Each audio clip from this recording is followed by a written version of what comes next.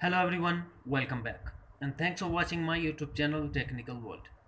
Today in this video I will show you how to fix double notifications on Facebook and Messenger app on iPhone and iPad after iOS 14 update.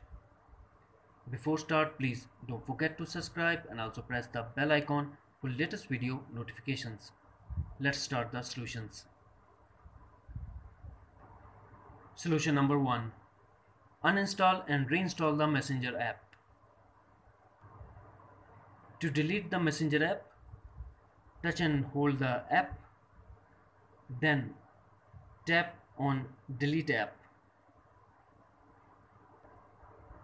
Once you delete it, go to App Store, then search the app in search field.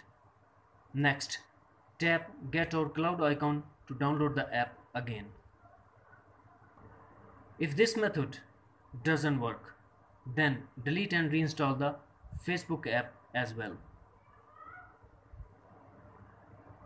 Solution number two turn off and turn on iPhone. For that, first launch settings, scroll down and tap general, scroll down and tap shutdown and drag the slider to power off. After that, wait for 30 seconds and turn on your iPhone. Solution number 3 Turn off notifications for Facebook.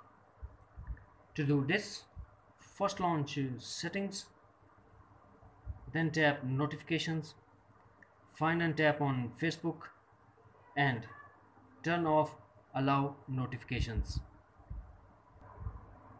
Once done, you won't get notification for Facebook.